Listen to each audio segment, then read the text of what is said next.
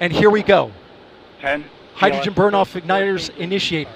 Seven, six, five. Core stage engine start. Three, two, one. Boosters in ignition. And liftoff of Artemis 1. We rise together back to the moon and beyond.